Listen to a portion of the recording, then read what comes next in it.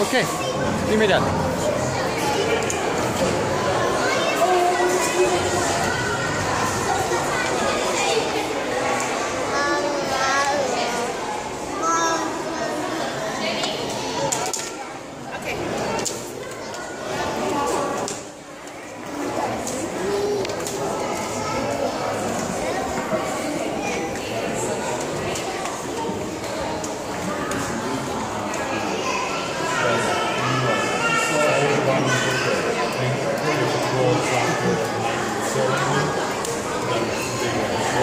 Okay, give me that.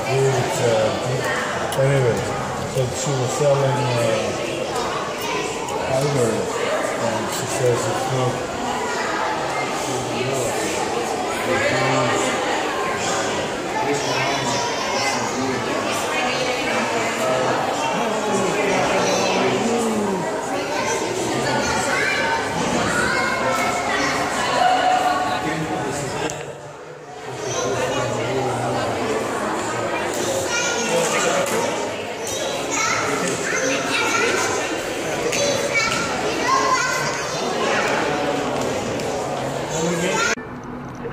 New York Times is reporting Miami Beach, a major tourist destination, has been hit with a cluster of Zika cases likely transmitted by mosquitoes.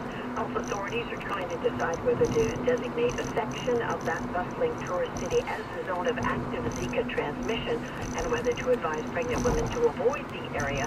The health official says there are a handful of cases of local transmission that involve people who were in close proximity to each other.